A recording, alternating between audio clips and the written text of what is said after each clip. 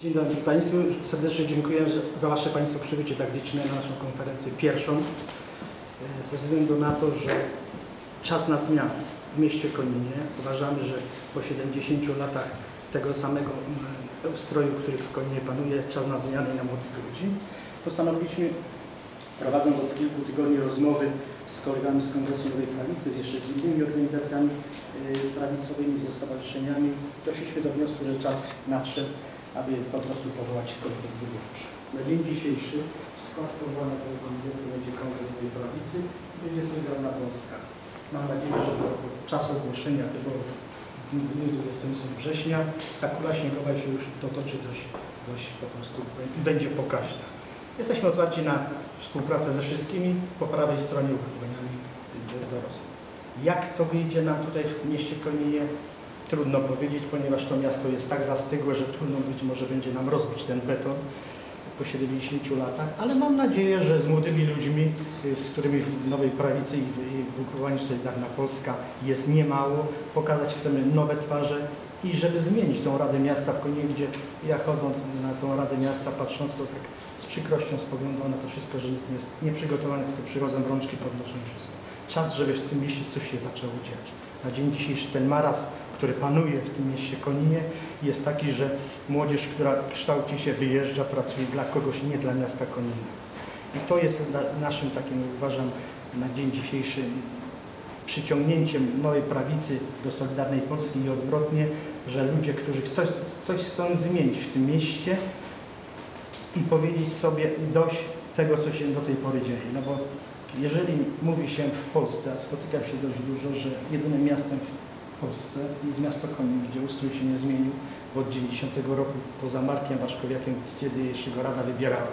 E, Cały czas rządzi wieczna partia, która ma zawsze na wszystko monopol. Czas na zmianę. I uważam, że ugrupowania, które w tej chwili jeszcze myślą, jak do nas podejść, otwierając dzisiejszą konferencję, y, przybliżymy ich szybciej do nas. Ponieważ są takie sygnały, że jeżeli powstanie takie coś, będą do nas dołączyć. Także ja w tym temacie tak dziękuję.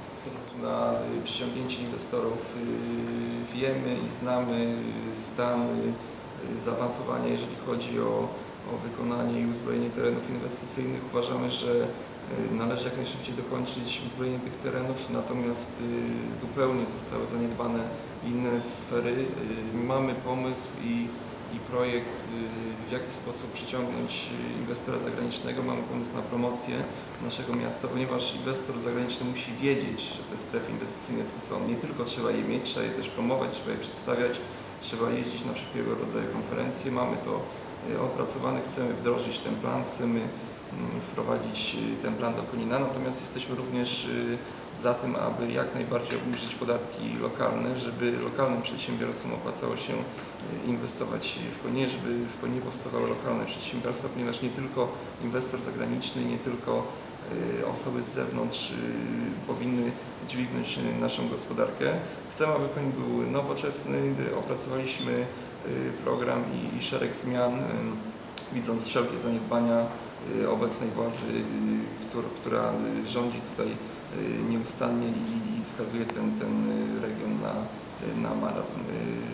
Ze strony Kongresu Nowej Prawicy głównym celem to jest właśnie tematyka gospodarki i, i rozwoju Konina. Dlatego postanowiliśmy wspólnie otworzyć front i, i, i wspólnie razem walczyć o to, żeby zmienić Konin na lepsze. Ja tylko jeszcze dołożę Państwu jedną taką może informacyjną rzecz, że porozumienie, które zawarliśmy z Kongresem Nowej Prawicy jako Solidarna Polska będzie obowiązywało w całym okręgu 37 i wybory wszystkie do miast powiatowych wszędzie będą pod taką konfiguracją, bo pewnie będzie szerzej, jeżeli dojdą do nas organizacje, które już są w trakcie z nami rozmów, a które jeszcze wahają się, jak, jak to zrobić. Dlatego bym teraz y, kolego Przemku proponował, żebyśmy w obecności naszych dziennikarzy podpisali porozumienie, które będzie obowiązywało tutaj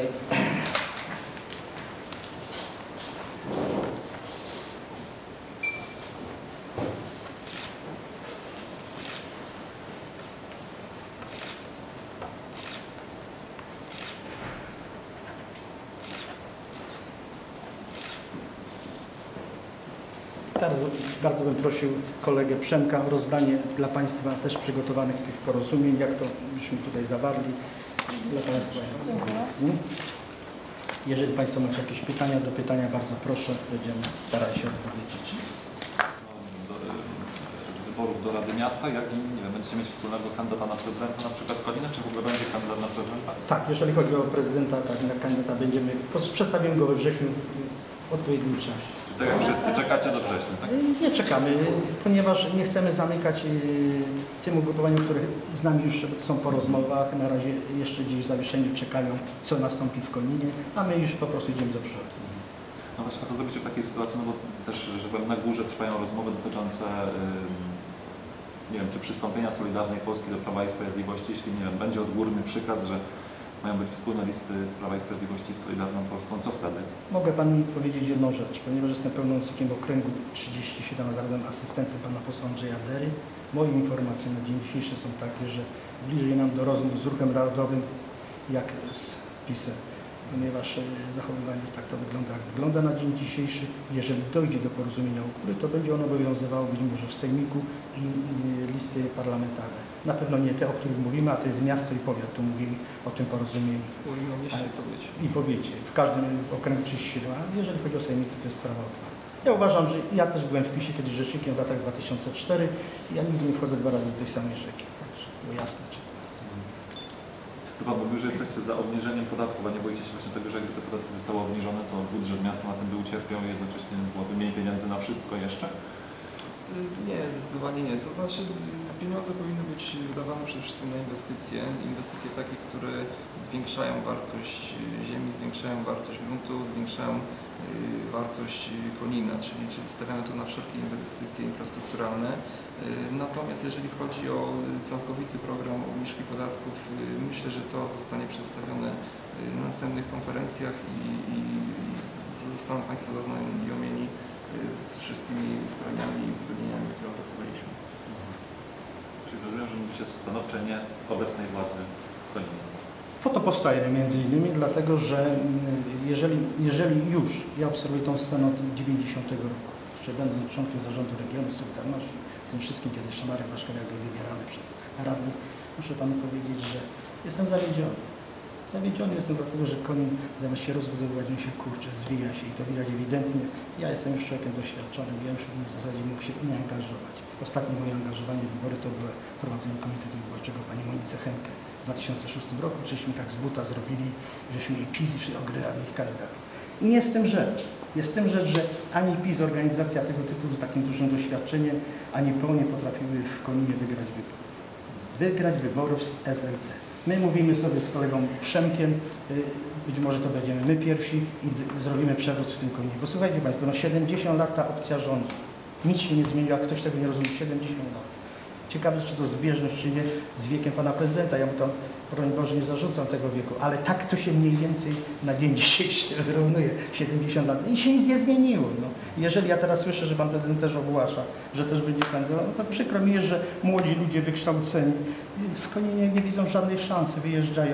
Powiem wprost, moja stud studentka, wnuczka, student, wnuk w Poznaniu mówił, dziadzia, po co tu? Po co? Po co mówi tu wrócę? Nie ma żadnej przyszłości, więc słuchajcie, jak młodzi ludzie z kongresu, z naszej, nie, coś w tym mieście nie zrobią, nie przyciągną inwestycji do tego miasta, no to co się tu stanie? Sypialnia emerytów rencistów. Wszyscy znamy kwestie po owocach i ich poznacie. Owoce obecnej władzy są już nam znane.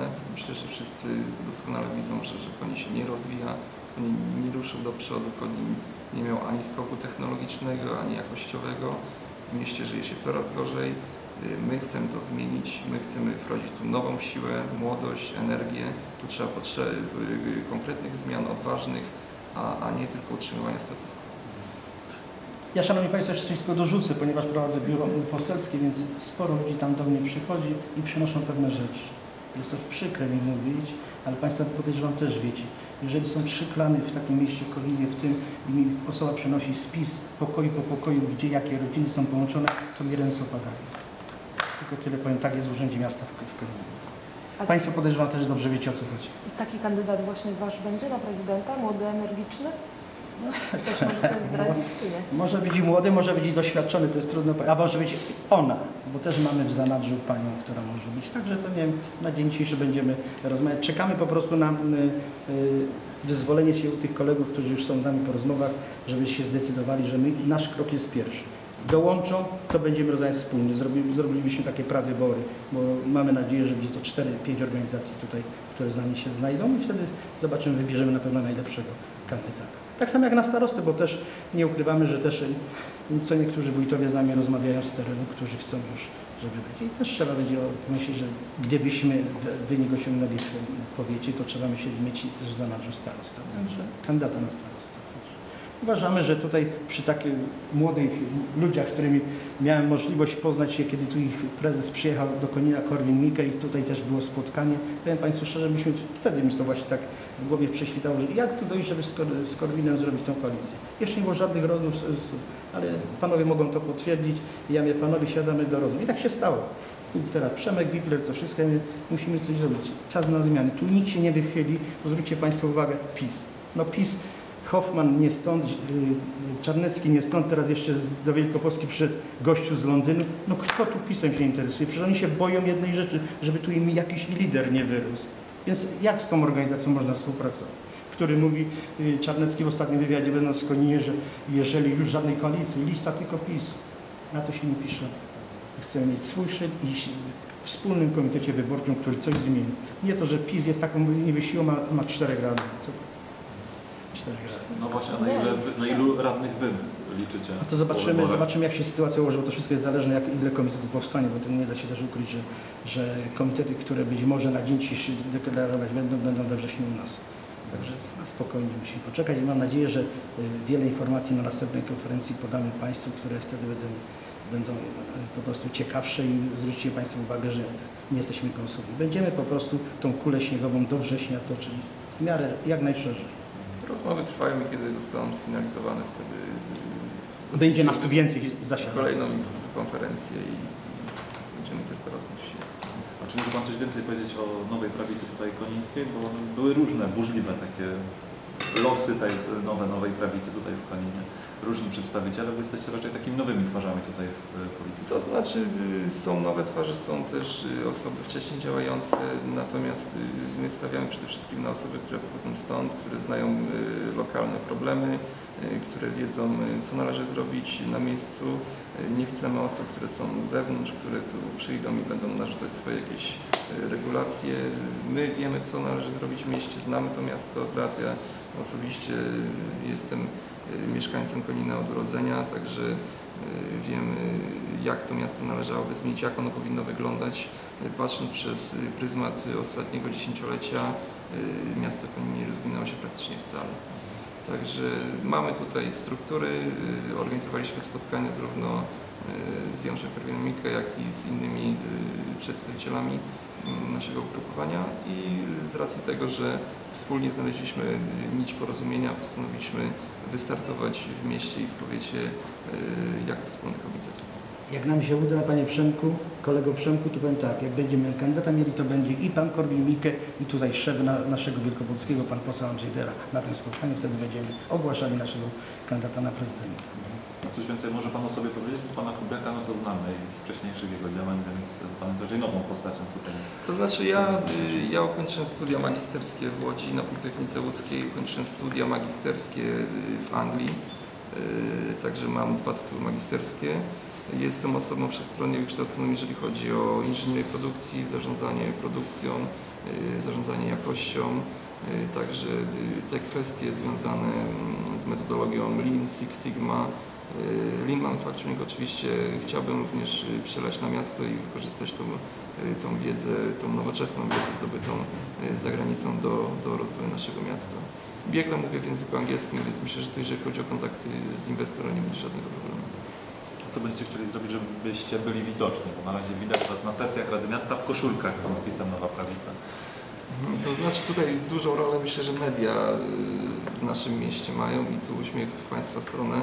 Y, Często przesyłamy materiały, które nie są niestety publikowane. Y, Natomiast y, mam nadzieję, że po tej konferencji odbędą się następne i wtedy będą Państwo mogli lepiej zapoznać się z naszymi strukturami, z naszym programem i z naszymi celami i osiągnięciami. Myślę, że bardzo ważnym punktem jest ym, Koniński Budżet Obywatelski, do którego złożyliśmy ponad 20 wniosków, czyli to jest y, y, praktycznie 1 czwarta złożonych wniosków, mimo tego, że nie mamy żadnych przedstawicieli ani Radzie Miasta, ani nie, nie funkcjonujemy y, tak y, obecnie funkcjonująca ekipa y, od, od, od tylu lat w mieście. Myślę, że pomysły się spodobają i czekamy teraz właśnie na, na wyniki.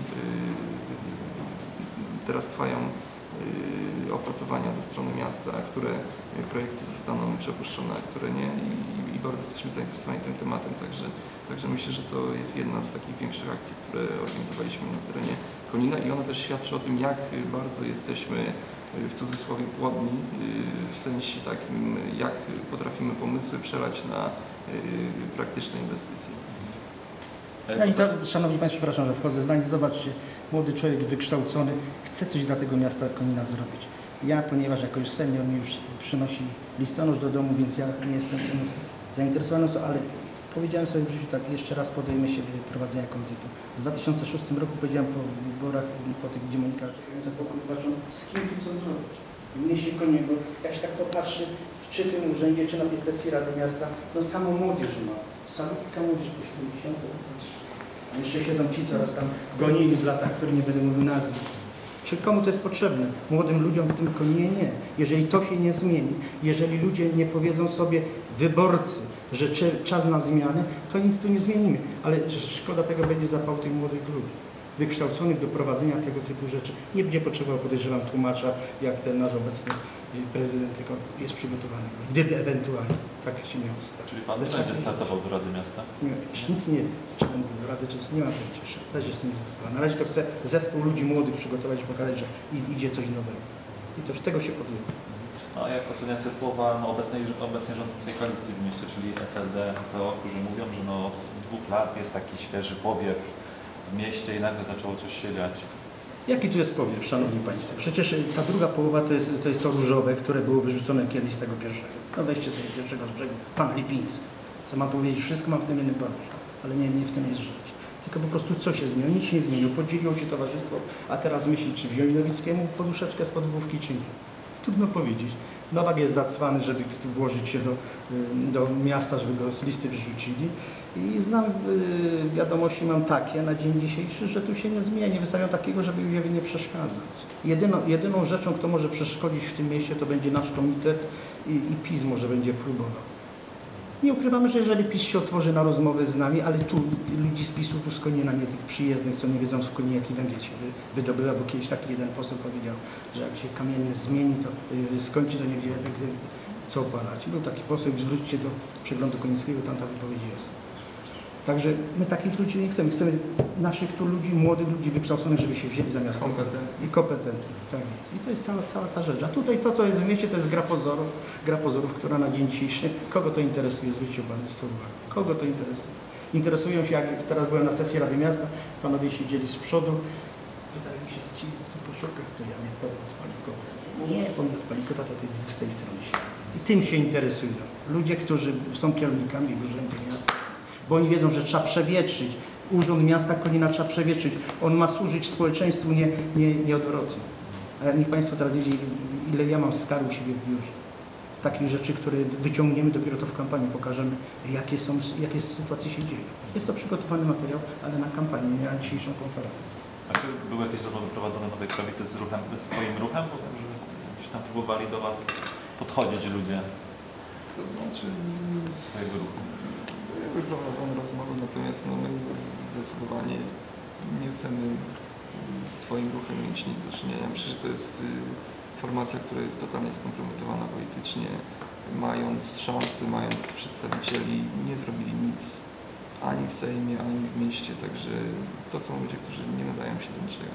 To jest to właśnie, co mówiłem, po owocach ich poznacie. Jeżeli chodzi o jakieś noszenie sedesów do, do Miasta albo tego typu akcji, ja myślę, że to jest, zostawmy te głupoty dla, dla ludzi, którzy lubią takie rzeczy robić. My chcemy robić konkretną, porządną robotę.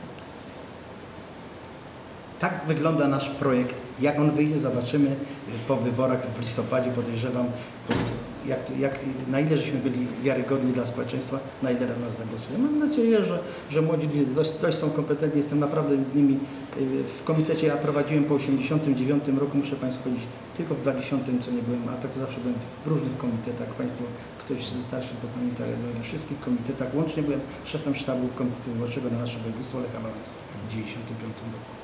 Także mamy jakieś doświadczenie, dlatego chcę młodym ludziom powiedzieć, co musimy zrobić, żeby wygrać te wybory. Wygrać tu w Koninie i powiedzieć, że czas na zmianę. Faktycznie na tą prawicę, nie na tą lewicę, która rządzi 70 już prawie lat. No, dużo, dużo jest chętnych, którzy chcą przyłączać się do nowej prawicy tu w Koninie? To znaczy chętnych jest bardzo dużo, natomiast y, no, nie chcemy przyjmować y, każdego. Robimy specjalną selekcję osób, które przychodzą, y, ponieważ tak jak Pan wcześniej wspomniał, no, są też osoby, które startowały na przykład y, u Palikota i teraz oni usilnie starają się gdzieś y, po prostu załapać, bo, wiedzą, że, że w najbliższych wyborach nie mają żadnych szans. Także, także do tego stopnia są, są skłonni, że, że przychodzą do nas i proszą się o, o to, żeby wystartować z nami. Jakieś konkretne nazwiska? Ja myślę, że nie będziemy ich bardziej Których kompromitować. widzieliśmy u Was na, na spotkanie. Byli, byli, także to, to myślę, że temat możemy... Szanowni Państwo, ja powiem tak, byli tam, byli tu, wszędzie byli. Wszyscy, jak to się mówi na dzień dzisiejszy, wąchają noskiem, gdzie co będzie pachniało. Dlatego myśmy ten krok wyprzedzili. Myśmy, nie ukrywam, negocjowali w kilka innych jeszcze ugrupowań, jesteśmy po rozmowach, ale myśmy powiedzieli z kolegą Przemkiem dość. Nie ma już uników. Jesteśmy, my zaczynamy. Panowie, następny ruch, już, tylko że my tu będziemy teraz kartę rozdawać już po kolei. Jeżeli nie będziemy już czekać dłużej.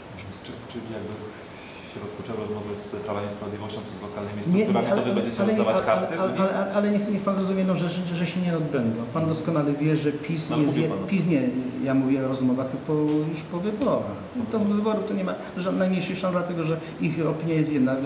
I Pan Hoffman przecież powiedział jedną rzecz, że jak ktoś będzie się czuł, że chce być w koalicji z PiSem, to jest i powie to członek PiSu, to jest poza PiSem. Czarnecki to potwierdził teraz w wywiadzie, który był ostatnio w sobotę i powiedział, że, że tylko lista może być Prawa i Sprawiedliwości. Nie, lista będzie naszej tutaj, naszego komitetu, nazwa jeszcze przyjmiemy, także tutaj uważam czytelny PiS, dla PiSu dajemy znak, że nie będziemy do nich po prostu na kolanach chodzić, tym bardziej do ludzi, którzy tu nie mają nic do powiedzenia na tym temacie, jak Hoffman czy Czarnecki. Nie ma, nie ma żadnego Czy- znaczenia. Czy to prawda, że poseł Jacek Kwiatkowski przyszedł na Wasze spotkanie i został wyproszony? No, była taka sytuacja, tak. Dziękuję. Został wyproszony, skoro nie jest członkiem Nowej Prawicy i skoro nie jest sympatykiem, no to nie wiem dlaczego mm, i, i, i po co to. Znaczy, po co to wiem, ale został po prostu kulturalnie y, wyproszony z tego spotkania. My szanujemy wszystkich, jesteśmy ku- kulturalni i, i tego samego oczekujemy od, od pozostałych partnerów do rozmów, także, także pod tym względem nie będziemy nikogo jakoś tam bardziej pogrążać. Czyli tych, których nie wyprosiliście do spotkania, to jeszcze jakieś rozmowy możecie z nimi prowadzić. A jeszcze tam ktoś był inny kolega Przemku, to, Był, ja był. ja nic nie wiem. Ja PiS jeszcze był sposób, też, ja, tak? ja nie znam wszystkich, także, także jeżeli ktoś tam no zostali po prostu poproszeni o wyjście, jeżeli ktoś yy, nie chce wyjść, no ja nie będę też nikogo zmuszał. Także dziękujemy ślicznie, jeżeli są już i zapraszamy i, i taką prosimy dla Państwa jedną rzecz. Miejcie do nas, do tego nowego komitetu młodych, nowych ludzi takie dobre serduszko i na pierwsze tam pokażcie, że coś w tym koninie ci może ludzie chcą zmienić. Nie, ja to będę z boku pomagam. Dziękuję ślicznie kolego Przemku. Mam nadzieję, że tak się będzie działo w Koninie.